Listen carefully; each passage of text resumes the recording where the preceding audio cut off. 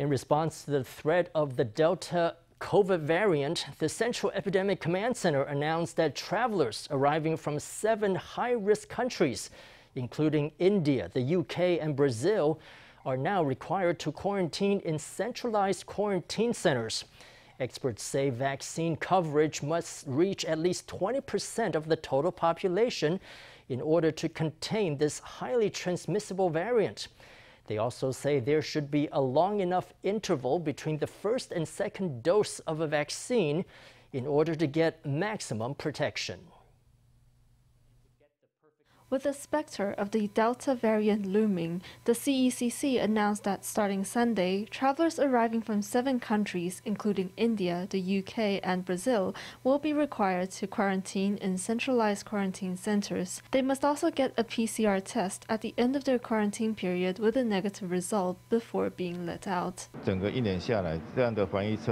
Looking back over the past year's COVID containment efforts, we've been able to prevent the virus from crossing the border, so testing upon arrival is of lower efficiency. In contrast, if testing is done after the 14 day quarantine period, then we would be able to catch the infections, as in some cases, the incubation period coincides with home quarantine, so it's more efficient to do testing when symptoms appear. The Delta variant has mutations in the SARS CoV 2 spike protein, which is where the virus attaches to the host cell. This is the reason for the Delta variant's increased infectivity. According to Public Health England, the Delta variant is about 60% more transmissible than previous strains, and the rate of hospitalization for patients with the Delta variant is two times higher than patients infected with the other strains. The locations where the Delta variant's mutations lie can bind to patients' cells, which is why its transmissibility is higher. Typical symptoms such as loss of taste or smell are actually less common in patients infected with the Delta variant. According to the findings from the Zoe COVID symptom study in the UK, the Delta variant provokes symptoms similar to those of the flu or a bad cold, such as headache, sore throat, sneezing, and runny nose, and they're more difficult to distinguish between the different infections. Experts fear that one single vaccine dose is insufficient against the Delta variant.